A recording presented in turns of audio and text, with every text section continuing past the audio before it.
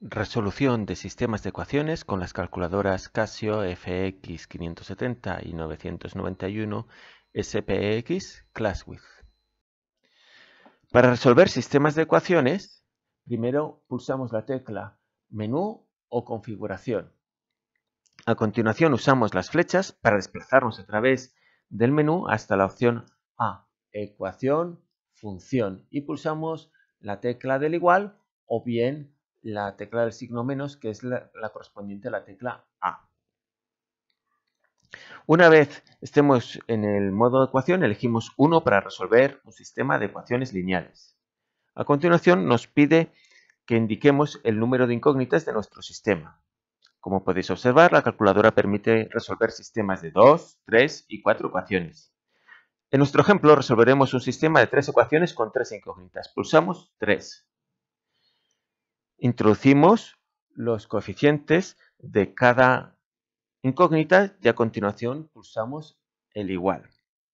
El orden de introducción es el habitual, el de lectura, de izquierda a derecha y de arriba hacia abajo. Y los términos independientes deben introducirse al otro lado de la igualdad.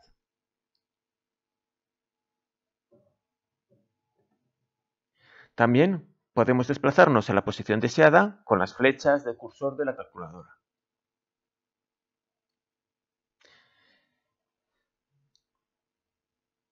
Si alguna incógnita no está en la ecuación, introducimos 0 como coeficiente.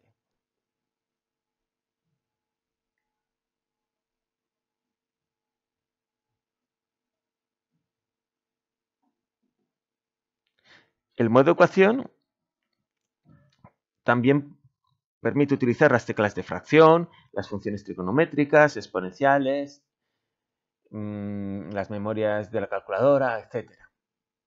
Ahí estamos introduciendo la fracción menos 3 medios, que es menos 1,5.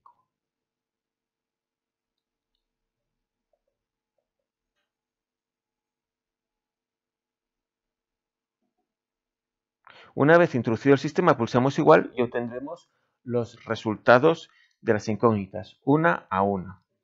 Podemos usar la tecla SD para mostrar el número en forma de fracción o en su valor decimal. También podemos usar las flechas de arriba y abajo para mostrar las distintas soluciones.